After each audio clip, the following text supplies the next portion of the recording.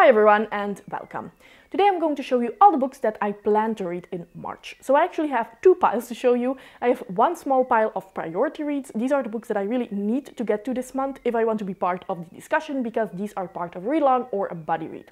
Then I have a second small pile which is my pile of possibilities, I'd like to call it. These are the books that I can pick and choose from once I get through my priority reads pile. So without further ado, let's just get into the first book. And this is one that most of you know that I will be picking up this month because that is Way of Kings by Brandon Sanderson, of course.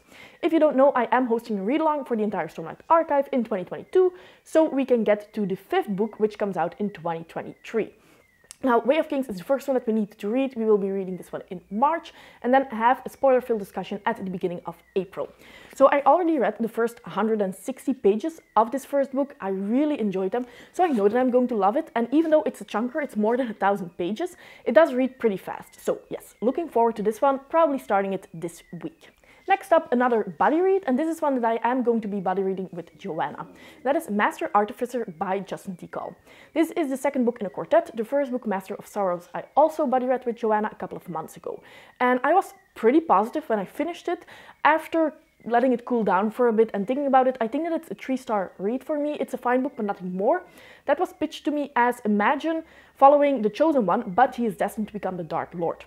However, in that first book, I didn't really get that feeling yet, but I have heard that this second one gets a lot darker. So I'm quite excited to see what happens in this one. And if it's another three star read, which by the way is a fine book, there's nothing wrong with that, I do know that I will have fun either way because buddy reading with Joanna is always a lot of fun. Then another humongous book. It looks like I'm picking up quite a few tomes in March, and that is The Wall of Storms by Ken Liu, the second book in the Dandelion Dynasty. So Chris over at Chris Bookish Cauldron and I were going to buddy read this one last last month, but apparently both of us didn't really start, and now we're going to start it today. So, yes, this will again definitely be read this month because I'm already starting today and it's the beginning of March yet. This is a big book. I really enjoyed the first one, Grace of Kings, but it's definitely dense. There's a lot going on in terms of political intrigue, a big set of characters, and it can be difficult just to keep track of sometimes.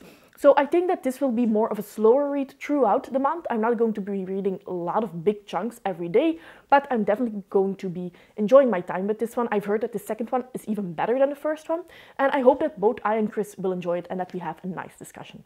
And then the last of my priority reads, and this is also the only one of that list that I will be listening to on audiobook, and that is The Heroes by Joe Abercrombie. So if you don't know, I'm slowly but surely making my way through the First Law universe, reading one book per month together with Steve over at Steve Talks Books and Jose over at Amazing Worlds, and we're currently reading The Heroes. We already have a date for the spoiler filled discussion which is going to be March 13th on my channel. So, of course, I am going to be picking up this audiobook next. I need to finish my current read and then I'm off to this one.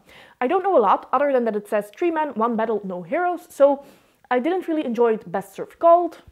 We will see if I like this one more. And otherwise, I think that I just have to get through the standalones to then get into Age of Madness, which is a series that I really think that I will love.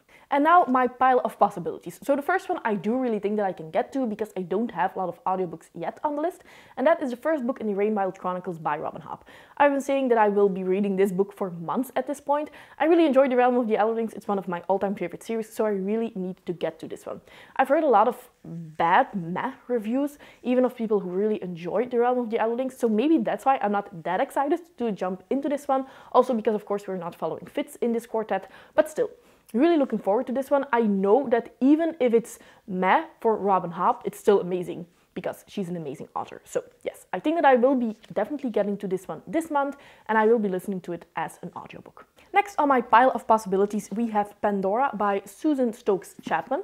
So, this is a Greek myth retelling of Pandora, of course, and it's set in the 17th or 18th century. So, that's definitely a pretty unique twist.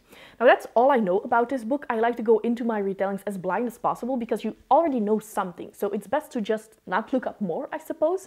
But it's a new release, it came out in January of this year, and I really want to give it a try. I already removed the dust jacket, so that means that I need to read it soon. Then next on my pile of possibilities, one that I already had on my TBR last month. Didn't get to it then, but I really want to read it because I've heard this is perfect to read in spring. I'm putting together a spring recommendations list, so it would be nice if I read this one first so I can decide whether or not I want to put it on the list. And that is Wildwood Dancing by Juliet Marillier. Of course, one of my favorite authors. This is the first YA by her that I am going to give a try, so I'm quite excited. And that cover is absolutely beautiful. I think this is one of my all-time favorite covers, so yes, want to give this a try soon, and hopefully I like her YA works as well. Next one, a big one that I don't really know if I can read it in February, but I really want to read it soon. And that is Kushiel's Chosen by Jacqueline Carey. So this is the second book in the Phèdre trilogy by her. I read Kushiel's Dart, the first one, last month, and that is one of my all-time favorite books now. I really enjoyed that. So of course I want to continue with the trilogy. Now I will be reading this physically because I really enjoy the writing style and I want to enjoy it while reading it physically and paying more attention to it. But this is a 700 page book. So I already have quite a bit of physical books on the TBR. I don't know if I can pick it up just yet, but let's just hope. One can always hope, and then we see where we end up. And then the last book in my pile of possibilities, and that is Alphabet of Thorn by Patricia A. McKillip. So if you do not know this author, this is an author who writes modern fairy tales. I've read The Forgotten Beasts of Eld by her a little bit over a year ago, and I really enjoyed that. This is a little bit longer, it's almost 300 pages, but still I think a fast read. Again, a beautiful cover, and I just want to give it a try. And look at this image at the back. Yes, I hope that I will love this. I love fairy tales. So modern fairy tales where I don't know what's going to happen sound even better. I think that this is about a wizard, not a wizard. I think this is about an orphan who is very good with languages and she can translate each and every book, but then she comes across a book that she doesn't really recognize the language of, I think. That's all I know. I remember this from when I picked it up over a year ago as well. And Again, I just like to go in blind in some of these books, especially if their standalones are not that long. Sometimes the premise already tells too much. So this is everything that I hope to get to in March. Please let me know in the comments down below what you hope to read next month. And as always, I hope that you enjoyed the video and see you next time. Bye!